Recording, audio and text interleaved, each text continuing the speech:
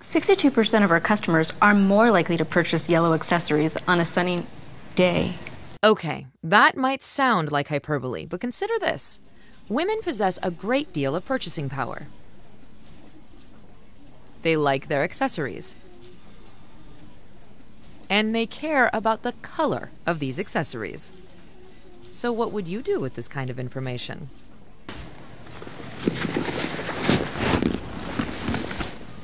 There.